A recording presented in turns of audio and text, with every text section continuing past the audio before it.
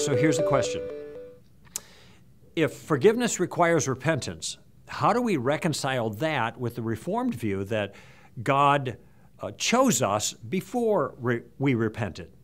Okay? Uh, first observation that isn't the Reformed view, that is the Christian view. We were chosen before the foundation of the world. All theological points of view acknowledge that. The difference between a Reformed or Calvinistic view and the Arminian view is the grounds of that choice.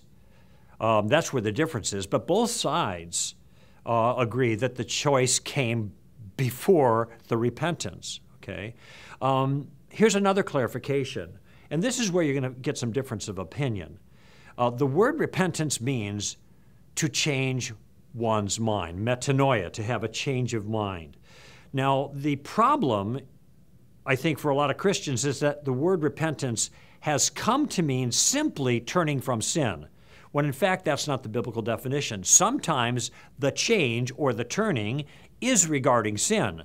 Sometimes it's a change regarding God. So it might be repentance from sin or repentance towards God. Not that they're they, they're disconnected from each other, but, I, but they are separate things. The word repentance itself means a change, a change of mind. Do we need a change of mind to become followers of Christ? Absolutely. Do we need to turn from all of our sins before we trust Christ? In my view, no. In fact, you aren't able to turn from all of your sins without the power of the Holy Spirit. God first catches his fish, then he cleans them, on my own view. So the Spirit enables us to trust and turn from a life contrary to God to a new life following Christ. And that spiritual regeneration then has ramifications for the way that we live.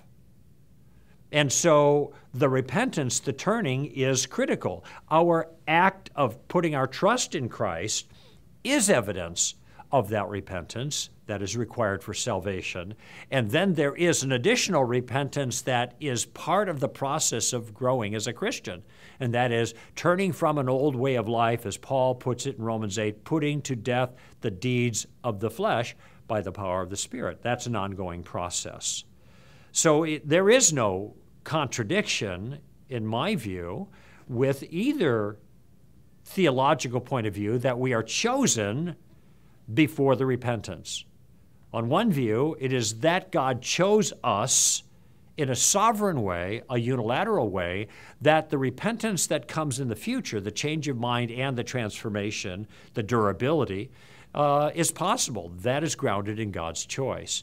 In the more Arminian way, the choice is an act of prescience or seeing into the future what we would choose to do, but it turns out to be the same kind of act, a turning away from our old way of life to Christ, and then in the process of doing that, being regenerated and our lives are transformed. No contradiction from either perspective.